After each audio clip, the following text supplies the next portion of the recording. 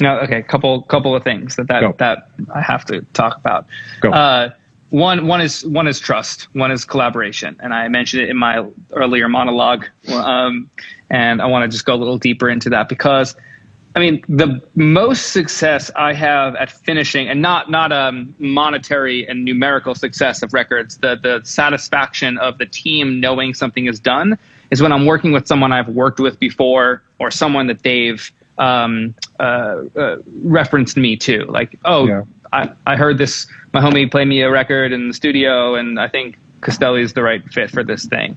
And I want people to feel comfortable passing off the record to be finished and know that what they get back is going to be either done or closer to finished before we collaborate on that mix now, right? Because s- someone like yourself, someone like uh, OG and Volta, who I work with all the time, they should be writing another record and producing another record and passing something off to me to finish. So they don't have to worry about it, right? Like Yeah. acknowledge at some point in your career, earlier the better. If you're solo and isolated, making your own records, we talked about this a lot too. Uh, yes, we we talk about saying yes to everything or not. Like I'm still on the school of understand what you're best at. And if you're a starter, if you're a vibe starter and you're not a good finisher, don't spend 20 hours trying to finish something that you had the vibe of. And two, find someone that can finish it for you so you can start another dope vibe. Like let's get out of each other's way and offer help when when needed and build trust and relationships. And that's wanna- something Can I jump in just really quick? Yeah. I think it's important. I, I think it's an amazing point. And I want to stick on it.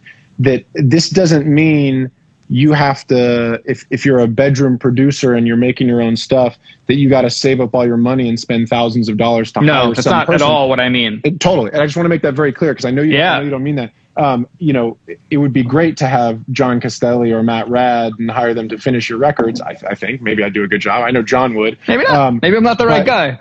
by, by the way, and that's that's the point of it is that it's not about finding someone who is a finisher. It's about collaborating with people that can offer that perspective to you. And it doesn't Yes. even mean that you need to like have a friend who's a young bedroom super mixer. What it means is you need to be able to interact with the world somehow when you're finishing records. And sometimes, you know, there's this great story.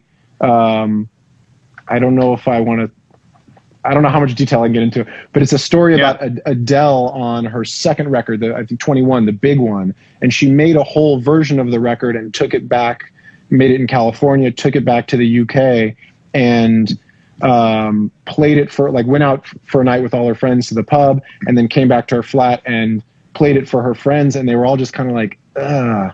And and she was like, I feel like it's, it sounds like I'm fucking 40 years old. And so she then said, I need to go back to the demos of all of these. So, th- so that album went, there was a whole version that was produced out with like proper LA musicians and all this kind of stuff. And once she went and went back to the UK and played it for her friends, she was like, this all doesn't, that money. this doesn't feel like me. And Yeah. spending all the money. And it, by the way, it, the album sold 30 million copies or something. So clearly Yeah. it was the right decision, but it was because she had Yeah. her friends after going to the pub obviously none of them are getting paid. They went out and got drunk and listened to a record. She's like, this doesn't feel like me.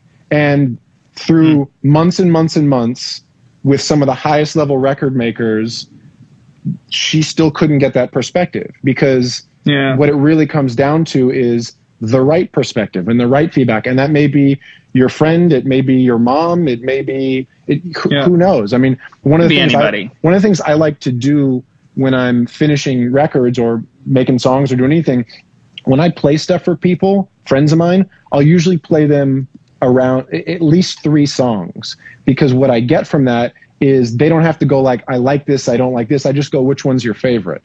And Yeah. through that process, you can you can start getting a hierarchy and you hear things through their ears and all of a sudden you just w- without them giving specific feedback of like the chorus needs this you just play a few songs in a row and your friends go oh i like that one You you Yeah. learn something about the record that no amount of like expensive studio anything is going to give you perspective on. Honestly, just press play in the room in front of people. You're going to hear it differently too. It's so surprising how, Kind of that how- simple. it's surprising how big that is and and if you've never experienced it or you know you haven't been in this position you don't know but if you have everybody knows that i've been in the position where i sit here i press play and the computer's here people are sitting behind me and without even looking back i hear new things in the songs and i go ah this part's this part's too slow. It's too long. It's not right, this vocal yeah. isn't right. Without just having someone in the room that you're listening with something about it changes psychologically and that is a version of perspective. All of these Yeah. things are versions of getting perspective and they're different for different people. Sometimes it's you take five minute breaks and you listen back. Sometimes you play it for three friends. Sometimes you go out to the pub and play it after like there's so many different ways to do this. But i just wanted to harp on that point that it's not Yeah. about hiring uh, an A level person who can function this way. The reason they're A level people is because they can more consistently get it right. They have more experience, and that's really valuable. But it's also, if you're a bedroom producer, find someone who you trust who you can just bounce things back and forth with. And it doesn't even have to be they're a finisher and you're not. You could have Well, you could both yeah. be working on it.